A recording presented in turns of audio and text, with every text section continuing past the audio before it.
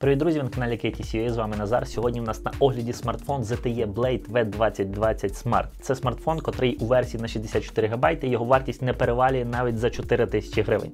Він є справді дуже великий і коштує дуже малих грошей. Чим він особливий і в яких моментах доведеться йти на компроміс, сьогодні розкажу. Поїхали. Blade V2020 Smart реально великий. Якщо ви мрієте про смартфон такого формату, як iPhone mini, то цей для вас точно не підійде. Але якщо ви шукаєте смартфон з величезним екраном, то ви по адресу, бо зате є Blade V2020 Smart саме такий. За розміром він взагалі нагадує шоколадку середніх розмірів.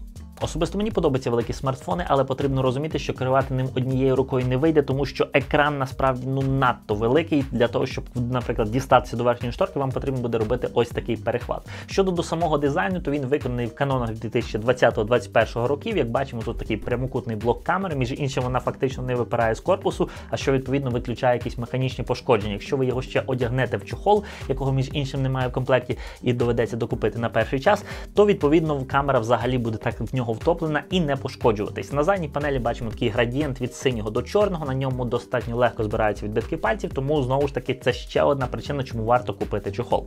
Щодо елементів управління, на правому торці в нас знаходиться клавіша живлення і в неї вбудований сканер відбитків пальців. Також тут є гойдалка регулювання гучності. На лівому торці у нас знаходиться лише лоток для сім-карт. На нижньому торці у нас традиційно для бюджетників розташувався роз'єм для наушників Mini-Jack 3,5 мм, а також роз'єм USB Type-C, що дуже приємно, тому що є апарати суттєво дорожчі навіть той самий Oppo A15s, а в ньому ще microSB, а тут уже Type-C дуже приємно. Дисплей цього смартфону просто величезний, 682 дюйма. Тобто він ідеально підійде для перегляду відео, для перегляду фотографій, для різноманітного контенту, для серфінгу в інтернеті, для якихось нескладних ігор.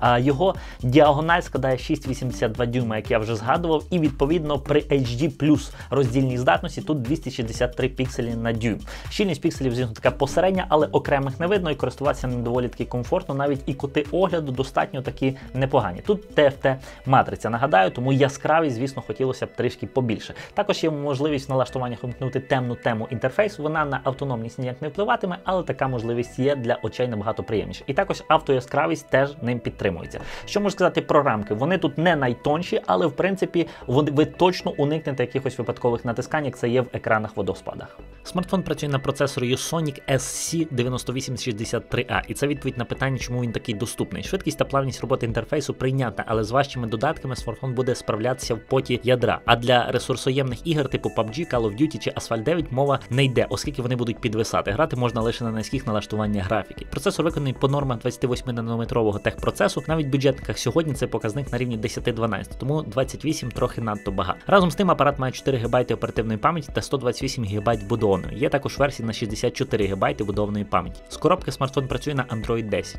Основна камера смартфона складається з чотирьох модулів, основний на 16 мегапікселів з діафрагмою 1,8. Деталізація знімків на прийнятному для цього сегменту рівні. Фотографії зберігаються миттєво. Хороші світлини можна отримати тільки при хорошому освітленні. Апарат може похвалитися 8 мегапіксельною ультраширококутною камерою. По деталізації вона на рівні з основним модулем, а от HDR працює не дуже добре. Іноді на знімках темні зони просто чорні без ніяких контурів. Смартфон має макромодуль та датчик глибини на 2 мегапікселі. Фронтальна камера у смартфоні на 8 мегапікселів і вона згодиться в першу чергу для відеозв'язку. Зважаючи на невисоку роздільну здатність екрану цього смартфону, а також не надто вимогливий процесор, автономності цього смартфону вистачати вам на приблизно на 1,5-2 дня.